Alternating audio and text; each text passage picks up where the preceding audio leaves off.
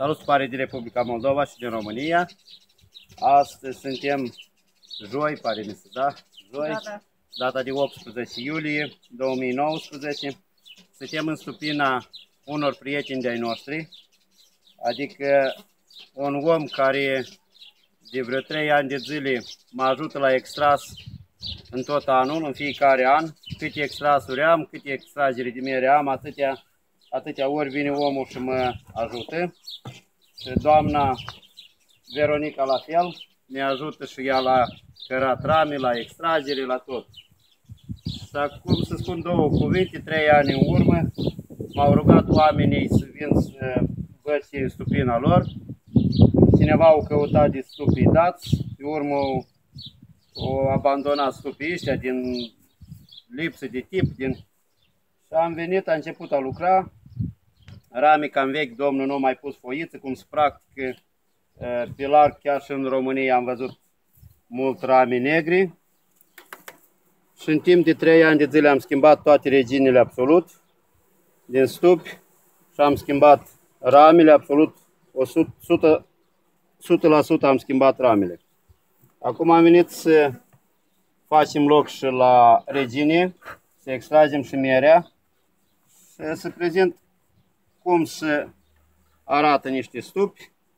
O ramă de anul trecut, asta e. Este plină cu miere, are și ceva păstură pe ea. În stup curat, rame curate. Foarte bine. Aici floarea soarelui a fost uh, câmpul mai departe ca la mine, ca distanță. Și plus uh, am mai făcut anul ăsta și familii tinere din uh, stupii dați.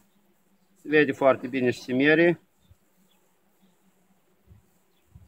Și am vrut să prezint cât de tare sunt blocați stupii. Mere și mere.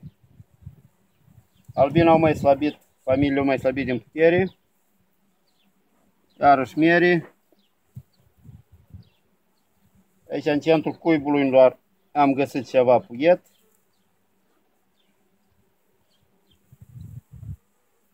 Uite aici să prezint câteva celule de puiet au mai rămas căpășit și cum ies albina, cum eclozionează.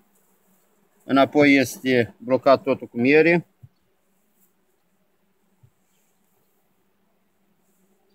Prin stup cât am mers, asta e un fagure crescut la, o foiță crescută la floarea soarelui acum. Încă nu a fost pontată de matcă deloc. Aici același lucru.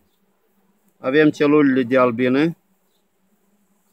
Avem, se vede foarte bine cum eclozionează albinele din celule. Și în loc este blocat tot cu miere, cu nectar.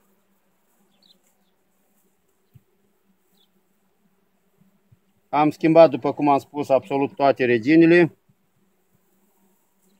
Aici puțin e mai bun, dar tot e puțin puiet. Iarăși vă arăt.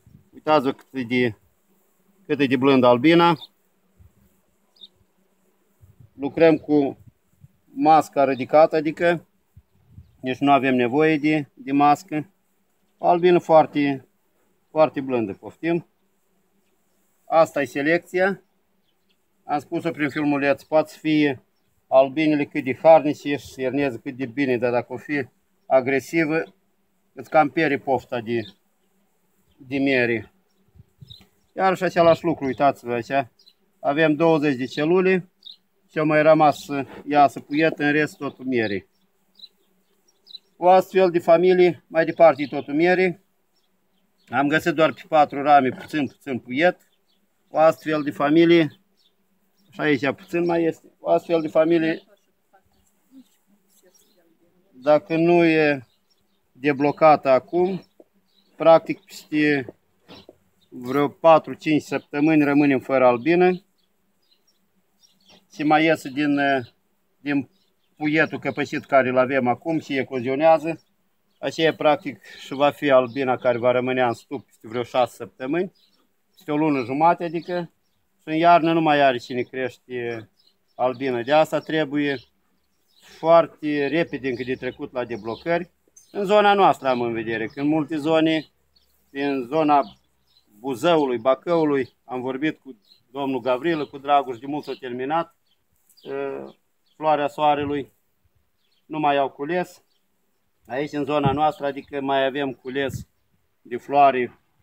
Chiar aici în zona unde ne aflăm la Spina Dat, mai avem cules, cred că încă vreo două săptămâni. Este floare care abia au început să înflorească și uh, va fi încă cules încă vreo două săptămâni. Cred că până în luna august, la începutul august, va fi cules.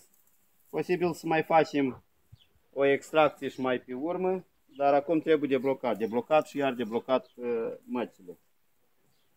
Asta am vrut să prezint de la stupina uh, colegilor noștri, prietenilor noștri de familie, uh, oamenii care îmi dau o mână de ajutor ori de câte ori am dat un telefon. Le mulțumesc pentru asta și trecem și noi la treabă mai departe, dorindu-vă o zi bună în continuare.